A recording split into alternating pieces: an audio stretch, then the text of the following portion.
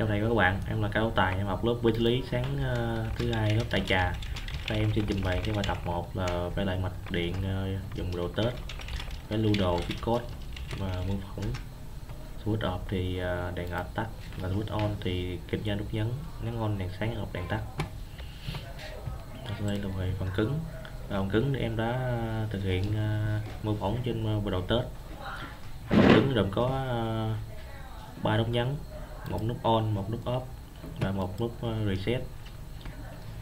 Và đây là cái tụ ờ, thạch anh với uh, cài đặt nó với uh, tần số là 20 m và con bích này cũng tần số là 20, 20 và 20 m một cái switch gạt giống như yêu cầu của thầy. Và đây là một cái pin đây là con led. Và cái uh, relay. Rồi. Phần cứng thì uh, tương tương tự như cái uh, mạch mạch của thầy đưa. Và tiếp theo là về uh, phần code.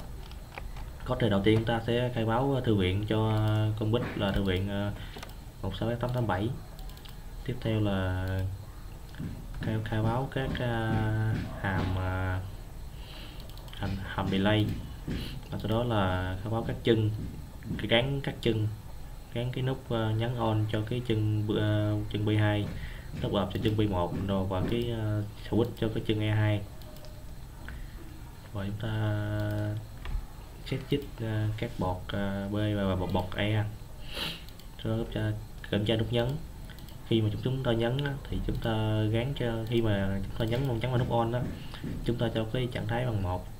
Và khi nhấn nút off đó thì cho cái biến trạng thái bằng không. Và khi gạt switch đó thì à, tiến cho thấy thái cũng bằng một.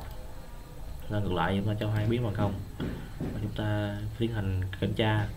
Có nghĩa là khi nhấn on khi à, nhắn nhấn on và khi switch được gạt nghĩa là cả hai à, điều kiện cùng lúc xảy ra thì chúng ta sẽ cho cái chân bên b không à, cho, cho cái chân led của chúng ta sáng.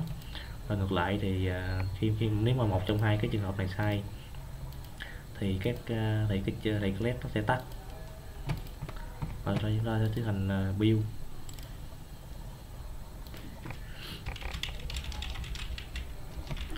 Và ta sẽ nạp vào à, chương trình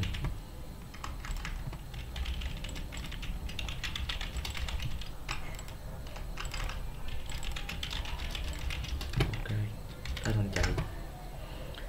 Khi switch à, chưa được gạt á, thì chúng ta nhấn nó không ảnh hưởng khi nó đóng ờ, uh, switch nhấn ngon.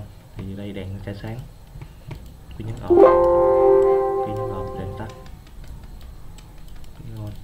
Khi đang nhấn on chúng ta sẽ ngắt switch thì cái đèn sẽ tắt. Và khi, khi nó đóng lại khi nhấn on thì nó sẽ sáng. Và với phần uh, lưu đồ á, thì uh, em sẽ trình bày như sau. Đầu tiên ta khởi bạo khởi tạo các bọt. Đầu tiên là bắt đầu. Xong rồi khởi tạo các bọt à, đầu tiên thì à, led chúng ta sẽ tắt. Xong rồi à, chúng sẽ tiến hành kiểm tra switch nếu mà switch à, được kẹt á thì nó sẽ xuống kiểm tra nút nhấn. Nếu switch không được kẹt á, thì nó sẽ gợi vẫn giữ nguyên trạng thái đó ban đầu là led chúng ta tắt.